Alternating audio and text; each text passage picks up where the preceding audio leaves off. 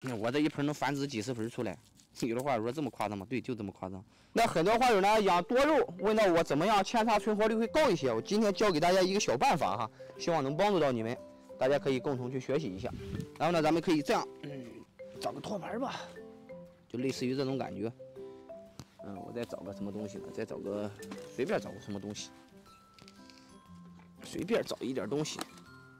嗯，就大概是这种感觉。你看。这个托盘里面可以让它有水，你找个这种东西，啊，把你们想要扦插的多肉的叶片掰下来。我这一盆能繁殖几十盆出来。有的话说这么夸张吗？对，就这么夸张。掰的时候尽量的别去伤害它哈，尽量的完整一点点。你像我这个掰坏了，这样就废了。它要长根的话，这是在这个位置，给你揪一下。对，要这种完整的叶片，看得到吗？来，拉近一点给他们看一下。要这种相对来说完整的叶片，你放到那种潮湿的地方，让它有水，就是蒸馏着的那种感觉。当然可以低一点。等到这个呢稍微长气根了，也或者说你怎么着呢？你不用这种方法，还有另外一种方法。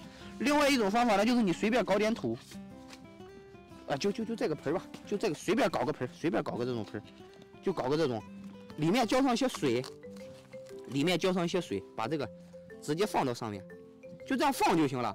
它的根系会自己长下去，懂了吗？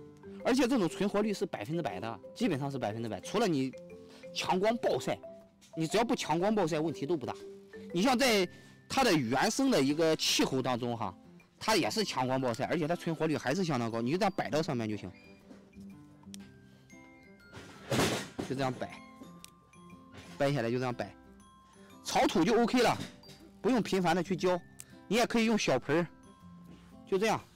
在我们棚里边的话，我连水都不用浇，因为空气湿度是够的。就这样，看到了吗？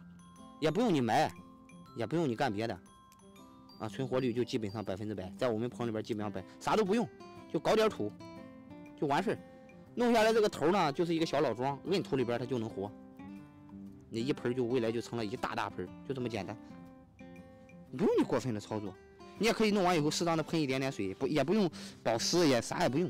它这里面的这些营养啊，就是这个多肉里边，为什么叫多肉？它里边有很多的这种营养成分，有大量的水分和养分，足够支撑它长出来三四个叶片。它其他的都能从空气里面获取，就这么简单。希望能帮助到你。多肉还不简单吗？手拿把枪，臭宝，记得点个关注啊！老花姨会每天给大家分享养花知识。我是老花姨，养花最专一，白了臭宝。嗨，嘿嘿，嘿嘿。